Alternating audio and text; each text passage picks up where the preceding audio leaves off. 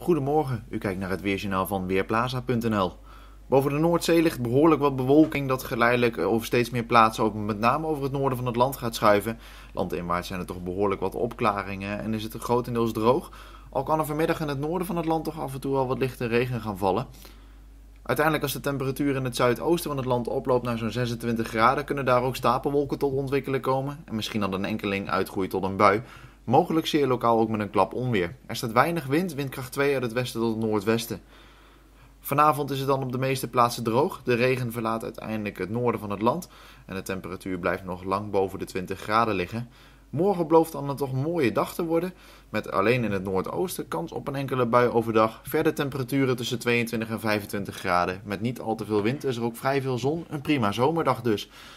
Ook na het weekend zomeren we nog even door. Met name op dinsdag hoge temperaturen. Lokaal 25, uh, eh, misschien 28 graden.